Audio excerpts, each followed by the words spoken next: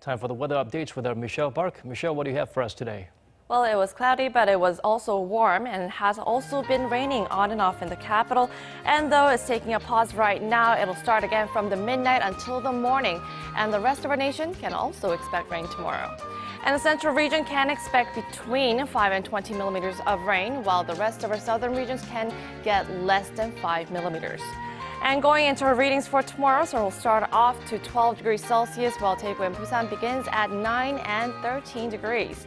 And during the day, Seoul tops out to 16 degrees, while Gwangju and Busan peaks to 16 and also 21 degrees. And when the rain clears up, the cold air will move in, so we'll get that cold and frosty conditions over the weekend. I'll leave you with the weather conditions around the world.